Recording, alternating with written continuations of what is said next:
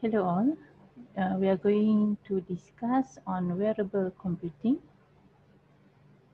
and mobile computing.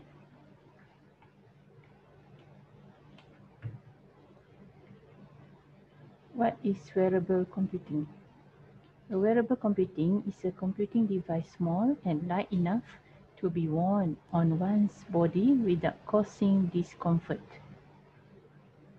The definition is a small portable computer that is designed to be worn on the body during use. Wearable computers should be worn like glasses, watches, and clothing. There are six attributes of wearable computing. These attributes of wearable computing are described from the human's point of view. Unmonopolizing, unrestrictive, observable, observable, controllable, attentive, and communicative. What is unmonopolizing?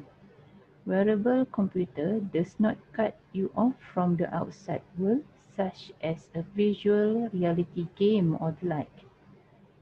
Unrestrictive, when using it, you can do other things. Observable, it can keep your attention continuously if you want it to. Controllable, it is responsive system you can grab control of it at any time you want. Attentive, wearable computer is environmentally aware, multimodal, and multisensory. Communicative, it can be used as a communication medium when you want to.